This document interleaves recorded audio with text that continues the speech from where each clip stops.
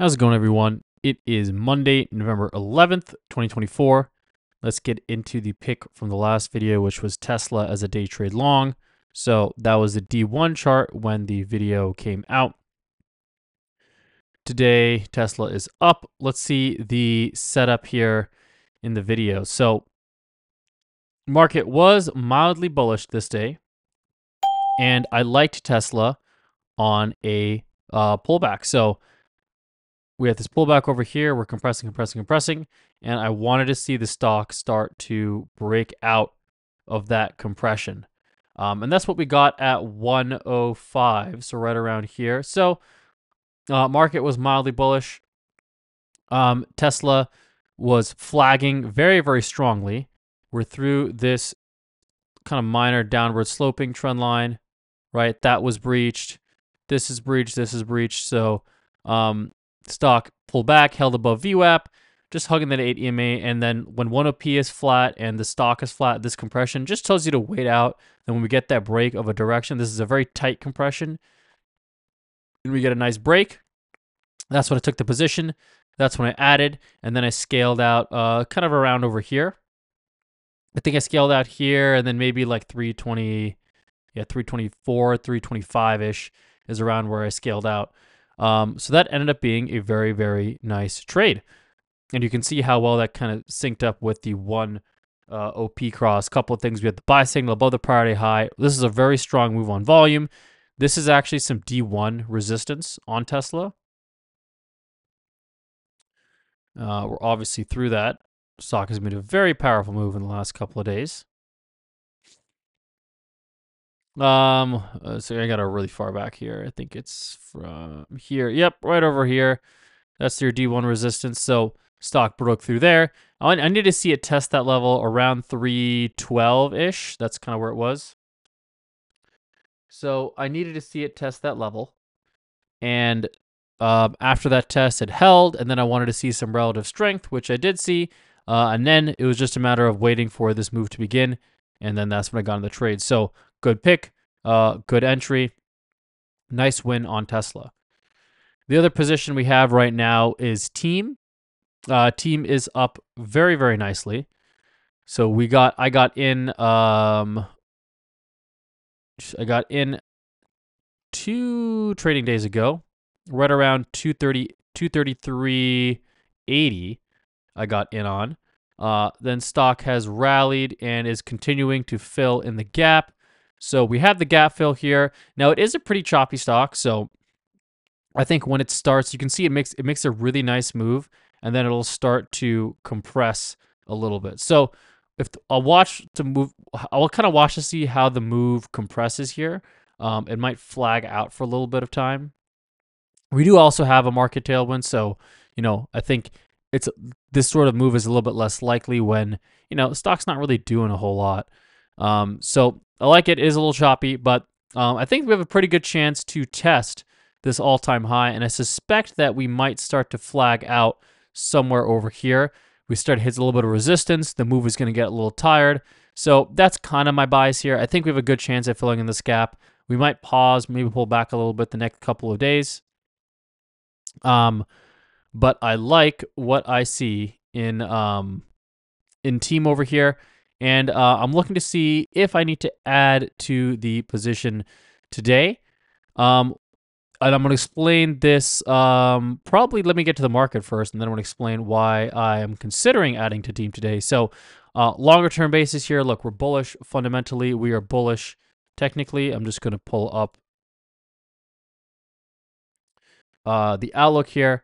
So again, still fundamentally, right, nothing has changed much. Inflation's uh, CPI coming out later today, but otherwise not a crazy high um, week of news. Retail sales is also coming in end of the week on the uh, economic outlook. Uh, technically, right, we had that cup and handle. We got the breakout, heavy volume, above all the SMAs. We got momentum. We got some seasonality. Um, I did not spell follow through correctly.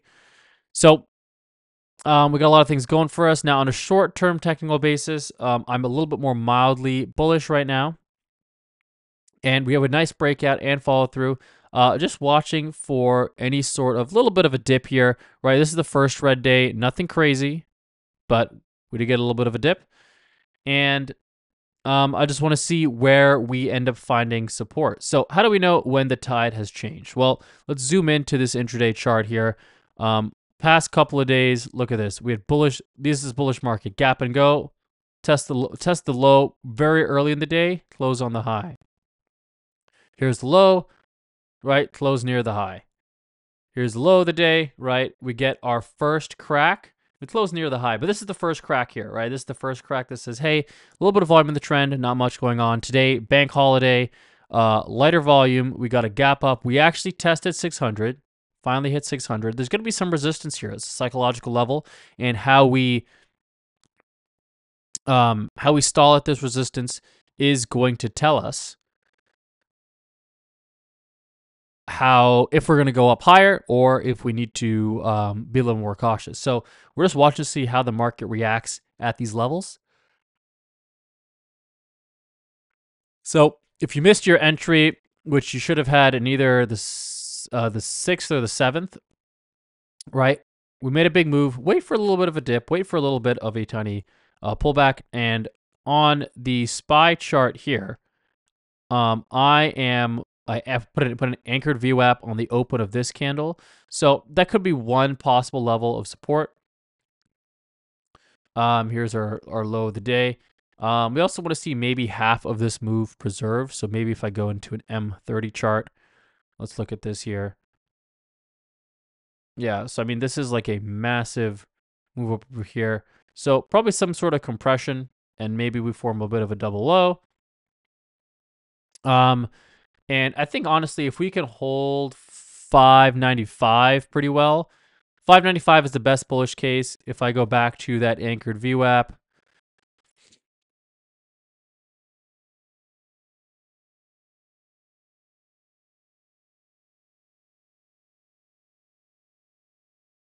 I just like to have a different color. Okay, so yeah, okay, that's coming up at 594, kind of flattening out. So I think if we can hold that level preserve most of these gains here, that'll be pretty bullish. Um,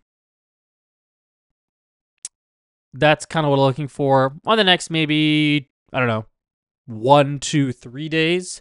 That's sort of my outlook here. Today on the intraday chart, we got a gap up. We see some some organization. It's not a ton of organization because of these wicks and these tails, but there's a lot of consecutive red candles. So that is mildly bearish. We preserve about half of this gap over here right? Then we try to poke up higher, slap down, poke up higher, slap down, right? So there's a lot of selling pressure coming up over here. And then buyers are slowly losing faith in the bid. And then we get the sell off and the acceleration ending with this bullish, bearish, or I guess this bullish engulfing candle. Uh, market is bouncing over here. And now it's just kind of flagging. It's finding some support. Um, looks like around the close of yesterday, there's a little bit of back and forth chop.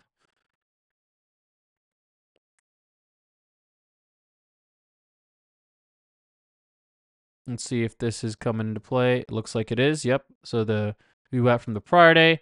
Okay, we're kind of chopping around that level over here. So any person who bought earlier on the open, um, yeah, that's somewhat relevant level. Um, so we got this big move down over here, and then we got this bounce up. So I think it's been a mildly bearish day, but nothing crazy, just not any sort of organization. Um, I thought this was the most likely scenario, something low probability, something mildly bearish. Um, there was a chance early in the day if we have some stacked heavy red candles, right? A lot of candles, if we got more consecutive candles like this 1040 candle, that tells us that okay, we got to be careful, right? Even this move is a little bit more organized than this move because we cover more distance. There's not as many uh, tails and wicks on that candle. So now in this market sell-off, if we look at team, team held up pretty well, right? Here is that sell-off from, uh, looks like, let's call it 12 to 120. So here is 12. And then here is 120. So it held up pretty well, bounced up, and just kind of chopping around today. Um, so I'm considering adding to the position, but uh, I also want to see maybe one or two more days of SPY over here because, nice trade signal. We'll take a look at that in a second. Um, because, right, we haven't quite made a new lower and lower kind of a test low high, or I guess a higher low, and then I move up higher. And I think that's going to take another day or two, or maybe even three to resolve, depending if this move down has another leg lower. So um, I think the stock is looking good, but I'm waiting for maybe the market to find some support before I add to that position. Because when I add, it's like I'm buying this stock again, right? So I want to add when this when the next round of cycles start to sync up. And the team team's looking pretty well. We're still in the bullish cycle, but the SPY may be transitioning. We may be flattening out over here to a bearish cycle. And uh, you can see stock is slowly starting to form perhaps some sort of range here. Um, maybe from 600 to 596, 597. So uh, we might be seeing a little bit of that range being formed, but time will tell. But this is kind of the first stages of okay, well, look, move is getting a little bit weaker here. We're starting to sideline. Buyers and sellers starting being paired off. So don't get super crazy.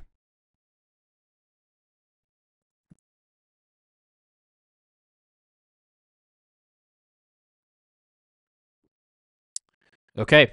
Um, so that's the conclusion on team. Not going to wait on it too much. Uh, we got a couple alerts. So let's take a look at some strong stocks that are doing really well. FTNT. Oh, yeah. Beautiful buy signal in here. Um, some higher lows, grinding up higher. Uh, this is not a bad trade to take. Could be the little pick of the day here. Found some support uh, pretty much at 96.14. So, yeah, I think I may take a small position on FTNT right now. I'm going to take it on this buy signal. And I'm going to take a small position here. So let's do, my stop is at around dollars. Um,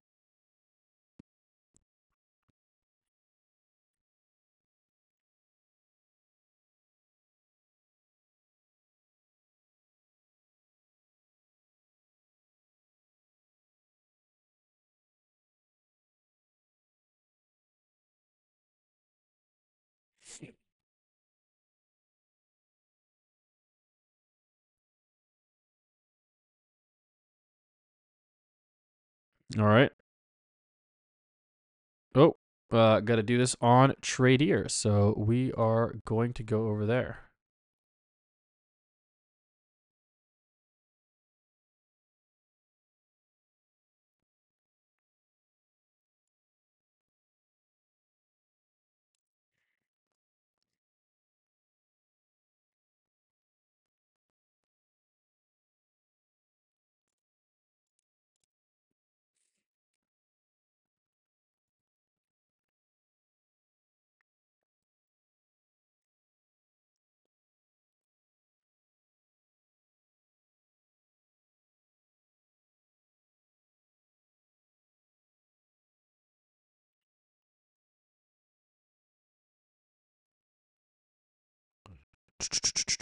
Oh, sorry for this. Looks like my, I don't know if my order is going through.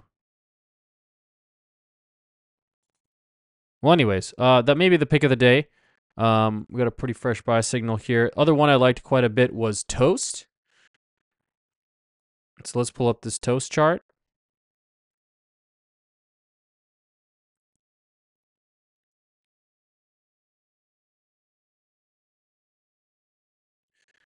Okay, so here is Toast. Let's look at this on the D1 chart. This is an big breakout from earnings. Uh, a little bit of a choppy stock, so you want to get it in on a dip.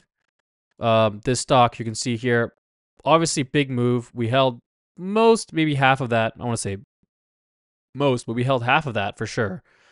Rallied up higher, came back, finding some support at this bottom trend line. Rallied up a little bit higher, and then I like how the stock has been moving sideways for most of the day, especially when the market started to sell off. Uh, we did get a little bit of selling pressure. Um, but the stock um, did find some nice support at VWAP for today. So um, could be a decent little overnight swing.